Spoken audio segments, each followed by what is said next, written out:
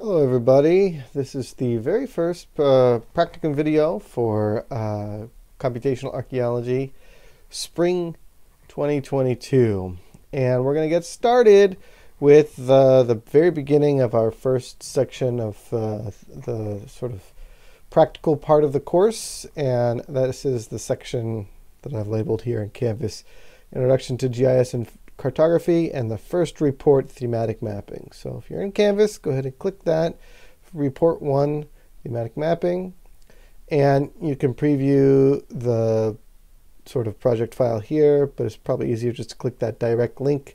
It should open it up for you in uh, Google Docs.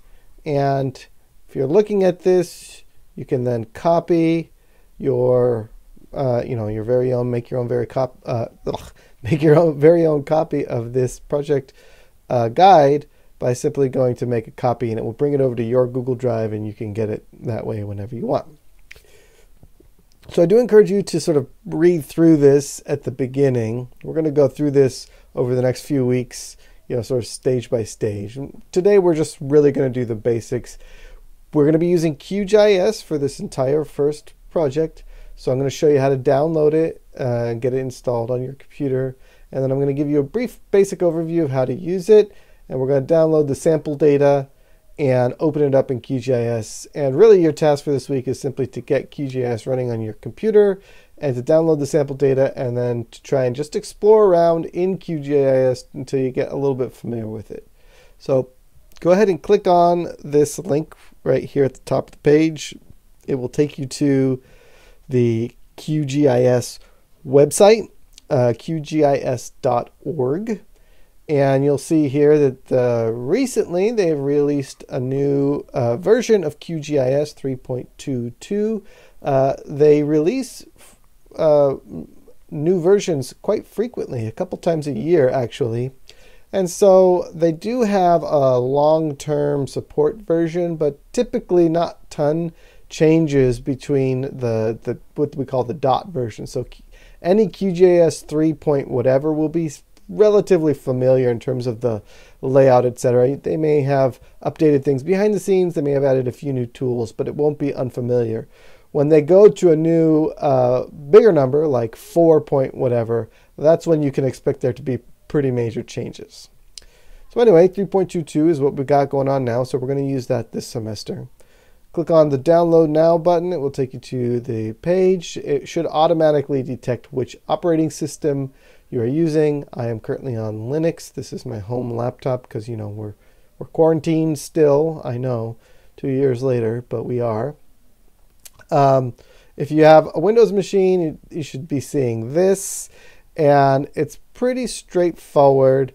Uh, you should just follow the express install instructions and it should automatically uh, download the, the right version 3.22 QGIS standalone installer. Click on that, follow the instructions, should be pretty straightforward. There's a variety of ways to install it. Um, honestly, this one right here is the one for you. Uh, for almost all Windows users, you should just click on this one and uh, follow the instructions fairly, you know, fairly straightforward installation instructions. For, uh, for Mac, it's pretty much the same deal. Just use this installer, follow the instructions, and just note this thing right here where it's not yet notarized by, you know, by the App Store. So the first launch, you're going to have to right click on the icon and hold down the Option key and choose Open just to say, yeah, I know I downloaded software from the internet. But you can trust this website. You can tell it's the right website by going up here and just clicking on this thing and making sure that your connection is secure and it's qgis.org. So you shouldn't worry about that too much. Um, nobody in the class is using Linux, but uh, the process is a little bit more complicated for Linux. If you're a Linux user, you should be able to figure it out by clicking on whichever version and following the instructions. Um, so once you do that, somewhere on your computer, you will have installed QGIS. On my computer, I can get to it uh, from my applications menu item up here. And I'm just, you know, this is, again, this is Linux that I'm using, so it will look different on your computer. and you'll look for an icon or an app in your start menu or in your applications folder that says something like QGIS desktop. And you click on it and it should see this little splash screen 3.22 and it will open up for you. Now, I've used QGIS for years, so I have all kinds of stuff in, uh, you know, this special little log files. So QGIS, even though this is a new version, knows I've got all these other QGIS projects I've done in the past. And so it's showing me my recent projects. You may not see that. You may just see the news or you may just see a welcome page over here. Um, if you've used uh, Esri software before, like ArcGIS, I think you'll immediately see you know, something that's relatively familiar. You know, the icons and stuff will look a little different, and you know the menu items may be a little different, but it should look pretty familiar to you. We've got this sort of right side here, which will become our map canvas when we load our project. We've got the left side over here, which shows us some information. We got a layers dialog. We've got a file browser. Excuse me. And then we have a bunch of icons up here, which are tools. I may have more than you have because I do have some plugins installed, but you might see two to three rows of uh, tools. and then you'll see uh, file regular file menu type things at the top, project edit layer, you know, that kind of stuff. Excuse me. So, how do we get started doing anything in QGIS? Well, the simple answer is that you need some data. And I will show you how to download data, regular data files, uh, initial data files from various repositories on the web. But uh, for now, to make things a little easier in the project, uh, first project, I've given you basically a sample data set that you're going to use for the project, you know, for doing some digital uh, digitization and map making. And you can just click on it in, uh, you know, back in the Google Doc. And when you click on it, it's going to take you to a page uh, in, in typical Google fashion that says, uh, either it's going to show you what it is, or it's going to show you, uh, going to say like, you know, I can't uh, preview this because it hasn't been scanned for viruses or something. But you should be able to um, uh, right click on it and uh, save link as, and uh, whoops, let me pause and try that again. Uh, I changed the project file and now it's actually doing something different. Ah, there's the button. Download. Ah. And it's going to say, right now it's going to say can't scan this file for viruses. Download anyway. You're going to click on that and it's going to download the zip archive for you. I did this earlier so you didn't have to watch, you know, the, the numbers count down as the thing tried to download. It's only 30 something megabytes. So uh, here's the deal. It will look like this, 34.1 megabytes. It's in my downloads folder. And uh, what I want to do is, uh, uh, at this particular point, I want you to create a folder somewhere else. Uh, on my operating system, the base, you know, user folder is called home but it might be your C drive or it might be your user folder, depending on what operating system is.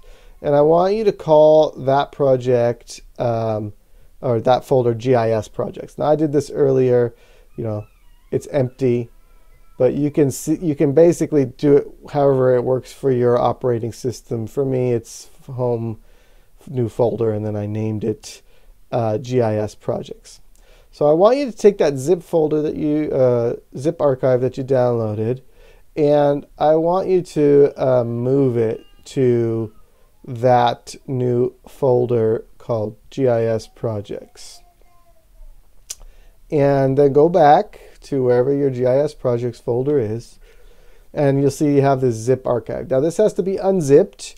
Uh, if you're on Windows, uh, you might need a little free program, WinZip or something like that, or maybe it's built into it by now. On Mac, it should be built into it, or you might need a little app. But for me, all I have to do is right click on it and go extract here.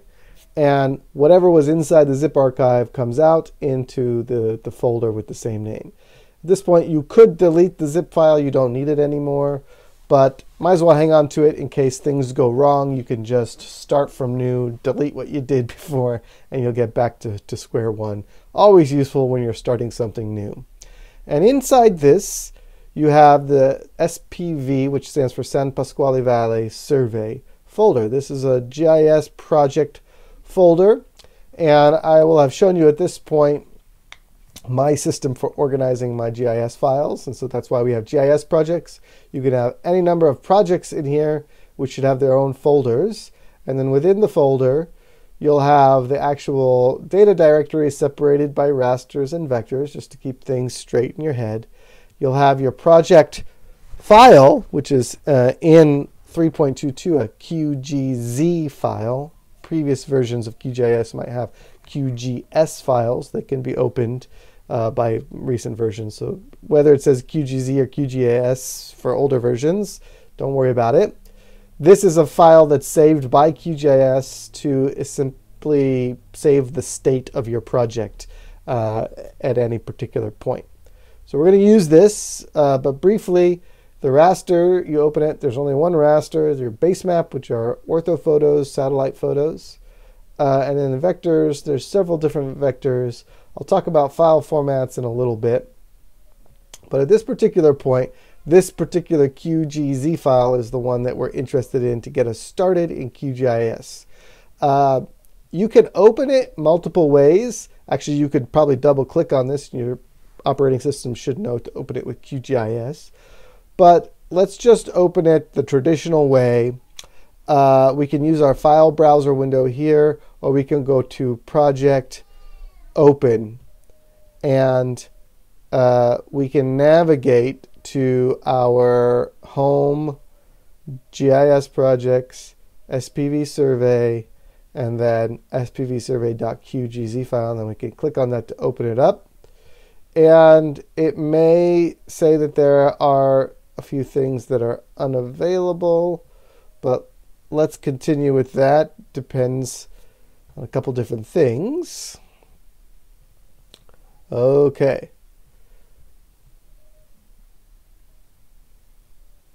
So, I'm just going to remove this top layer. And We're just looking at the orthophoto base map, right? This is a satellite imagery you can uh, use the scroll wheel to zoom in if you want. This is the first thing I, I suggest you do. You can see it's actually quite detailed.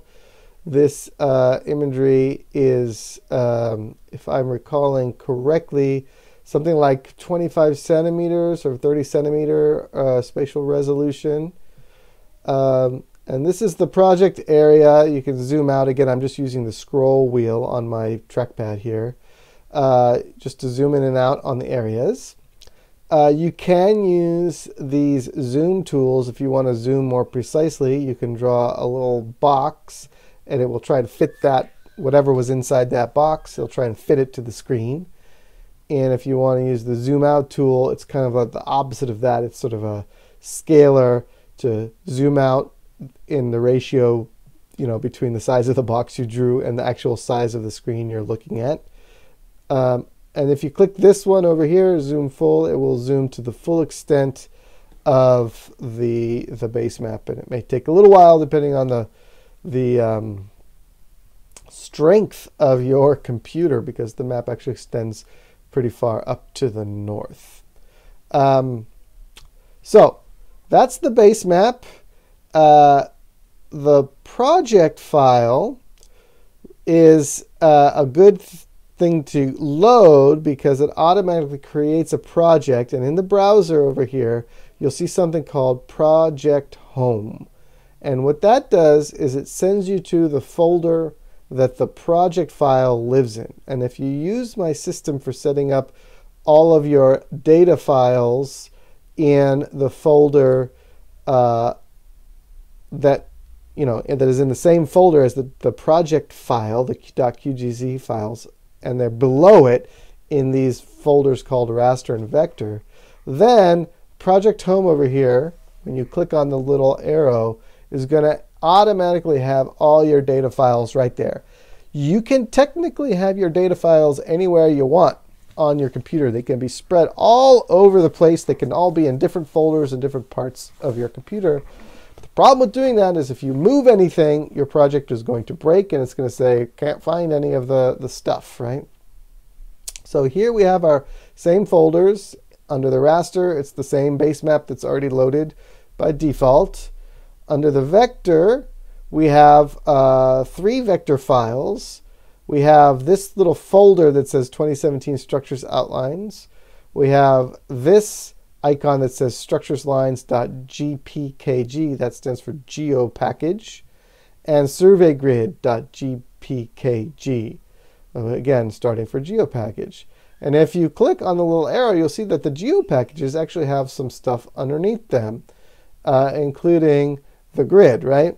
So we can load these in in multiple ways. You can drag them down. You can right click on them and uh, add them to it, uh, or you can double click on them and they should load up. But here's the survey grid. And this is the grid you're going to use. You're going to pick one of these squares to do your survey in. And when you initially add it to QGIS, it comes in as a set of polygons, of square polygons. So let me zoom in uh, over here. I can use my zoom tool again to do that. And you can see that it is now blocking the our view of the base map because in the layer manager it is located above this uh, base map. So if I click on this and drag it down, I could put it below. And so now the base map is uh, visible and the survey grid is invisible, or at least it's below. So that's your first clue of how to use the layer dialog over here. Anything that's up above on the layer, uh, in the layer list, is going to be visible on top in the map uh, window. It's not to say that it is physically on top in the real world, it's just visible, more or less visible, you know, above or below. Uh, you can also make things invisible by clicking the little checkbox here. So when it's unchecked, the layer just, you just can't see it. It's still there, you just can't see it. Same thing you could do with the base map, right? And now it's a blank map canvas on that side. Um, in this case, because this is a set of polygons or areas, they're colored in. And the outlines are colored in one color, and the areas are actually, in this case, colored in uh, some sort of goldenrod. It may be different when you load it up. To change that, you can right click on this uh, layer that says Survey Grid and go to Properties. And the Properties dialog is where we can do a lot of stuff. Firstly, it tells me something about it in the info tab. Uh, and there's a whole bunch of other tabs over here, but the one that we're really going to look at most initially is this one that says Control Feature Symbology. And you click on it, and you can see that lovely uh, goldenrod color. Now you'll see it says fill, and then it says simple fill. When we're, it, it's kind of a hard thing to understand, but the fill, the fill is actually all of the styling, including the the the lines. And so if we changed the opacity here, if we wanted to make it more transparent, we would change the whole thing to be transparent. So if I roll this down and I just click OK, you can see the whole thing becomes a little bit transparent, including the lines. Now that might be okay for you, but what if we wanted to make the polygons fully transparent, but keep the lines fully opaque. We can do that. We're gonna, you can go back to right click and properties, or actually you can double click and it will open the same thing. So I'm gonna set the opacity back to 100% and hit apply and just show you, um, whoops, uh, just show you that it's back to the way it was. Um, but if we click from fill to simple fill, now where we can separate out the lines, which is this thing that says stroke color, and the fill color over here. And when we click on the fill color, we can actually now go down and set the opacity all the way to zero. Click OK, click OK again, and now you can see the lines are there, and the color is now completely transparent for the faces of these square areas. And we can style the survey grid lines also. So I'm going to go back into the properties, fill, click on simple fill. And here we have stroke color. Now I could change that to anything I wanted. Uh, I could change it to bright red if I wanted to. And I can change it from a solid line to, let's say, a dotted line. And I could make it just a little bit thicker by changing the stroke width to 46 millimeters and click OK. And now we have dotted red lines. And if I zoom in to a, an area like that, we can actually see them. Now the dots are really close together, so maybe we want to do something like um, uh, instead of dotted lines, maybe we want to go dashed lines and click OK. And it should have, I guess you'd have to look a little bit closer, but they are dashed in this particular case. Um, so we'll zoom back out. Uh, okay. You can see the dashes kind of building over here. Um, now, that's great. We have our survey grid and we have our base map. What I want you to do at this particular moment, you can use the zoom tools. Uh, you can use this little panning tool. So let me zoom in again to a, to a grid and I'll show you what that panning tool does. Um,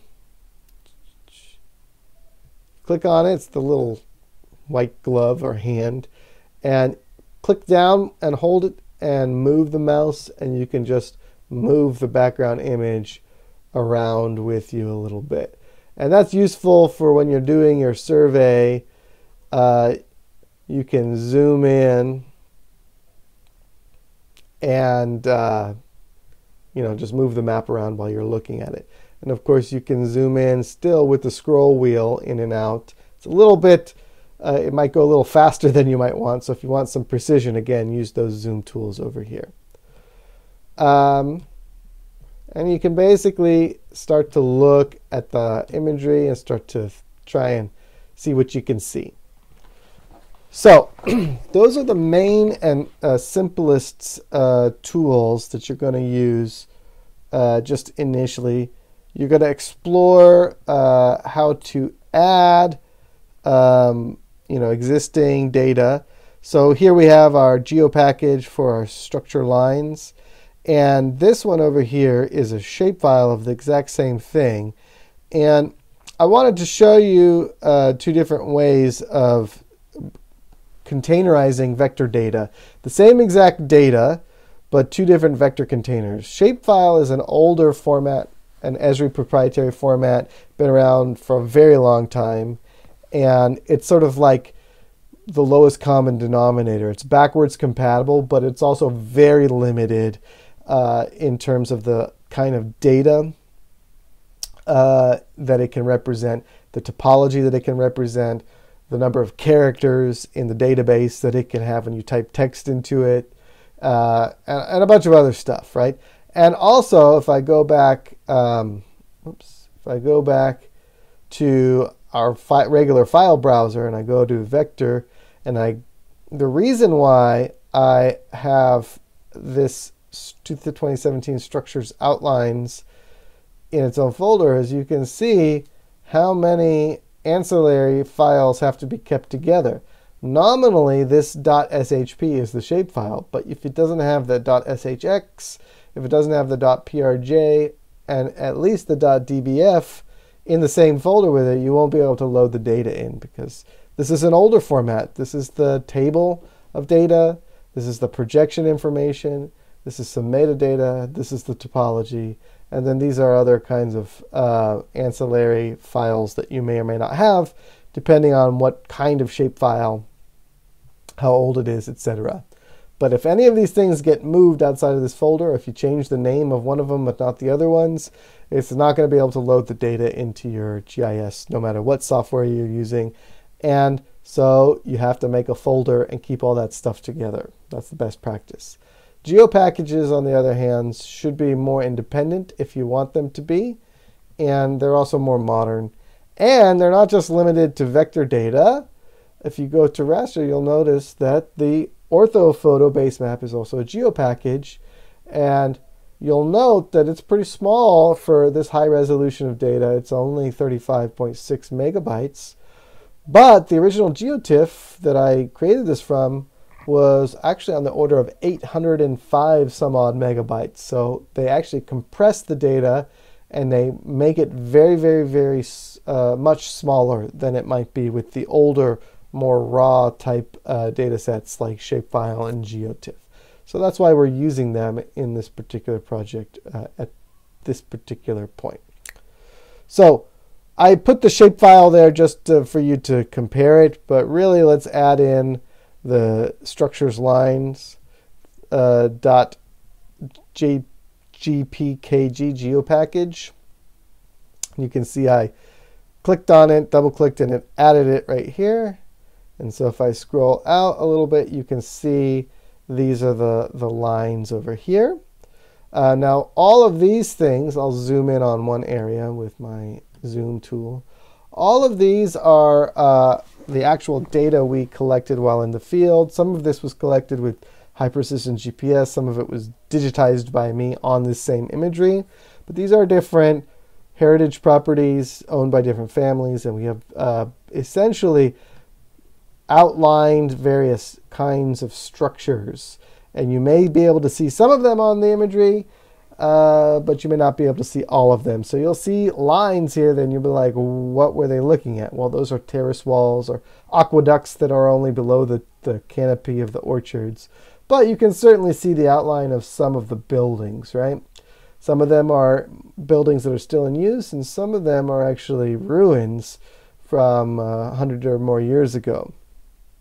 And again, if you turn it on and off, you can kind of get a sense of what these things are, these outlines are about. Um, so initially when it's loaded in, the lines are thin and they're all kind of brown. I'm going to show you how to do thematic mapping later, but we'll just double click on this and we'll go to line and we'll click on simple line where we actually get some, um, you know, uh, things we can change. I'm going to change the color to something a little bit more visible for my eye. I'm going to make it sort of uh, yellowy color. You can choose whatever color you want. I'm going to make it thicker. And I'm going to click OK. And now all of a sudden I can see a little bit better my lines. Now, there are a few more nuances I want to tell you about before we're done. Uh, but basically, this is it for now. Um, you know, just zoom around, change the color of things, use the pan tool for now. If you're feeling adventurous, you can use this uh, identify features tool and you can click on some lines and it may tell you some stuff. You know, I'll talk about the table and actual queries uh, maybe in the next video, but this tells you, you can actually look over here and see my codes, T-wall and terrace wall. And if you go to the uh, report project one, you know, overview, you will actually see the codes that we're going to use down here. And you can see how they're actually encoded in the existing data set as well. So that's basically it for now. What I, last thing I'll show you is that if you want these colors, you know, that you've changed everything and the and you know if you zoomed in just right, if you want all of this to come back next time you open the project file, you need to save the project file. And that's simply done under project save. And at this point, I can close this, reopen that QGZ file, and I will be uh, looking exactly at the same view. Uh, I can save multiple versions of the QGZ file. So if I like this view and I want to save it for a future reference, I can go um, project save as and give it a special name. And then anything I do after that, if I save it back to the original one, will not be reflected. I can have like a, a, a, fresh starting point if I want to by saving as a separate file and keeping it somewhere and not messing with it. Um, so that's good if, if you, especially when you're experimenting and you mess things up and you're like, wow, I really don't like the way any of this looks. Let me go back to the original way that I had it and I was happy with it. You can have as many QGZ files as you want. If you have too many, you might start getting confused. So maybe not more than a couple to start with and give them meaningful names like, uh, you know, right now I just called this SPV survey, but if I wanted to save as, so I know what this was, you know, this particular one is, I can put red grid, yellow features, right? And I can hit save. And if I go back to my just regular file browser, you can see there's the, my original survey QGZ, and here's the one I saved as with the little description to help me remember whatever it was that I saved this particular version as. And eventually we're going to digitize and we're going to add data um, to some of these files. And it's important to knowing that saving the project is not the same thing as saving new data. You can certainly remove um, you know, things that are in the layer tree and have them be invisible. Um, and when you save your project file, they won't be there in the layer tree, but you're not really deleting the data and you're not, if you've digitized something, just saving the project file is not going to save any new data. It's just saving literally the view and the style, the zoom level, the colors, you know, the thickness of the lines. That's all that the QGIS uh, project file is saving. What files, actual data containers are loaded in the layer tree and how you've styled them and how you've zoomed into them. And that's it. So that's all for this week. Uh, that should be plenty to get you going. Um, you can definitely feel free to explore some of this other stuff if you're an advanced user. If you're a newbie, then probably this is going to be plenty for you to deal with for the time being. We'll see you all next week.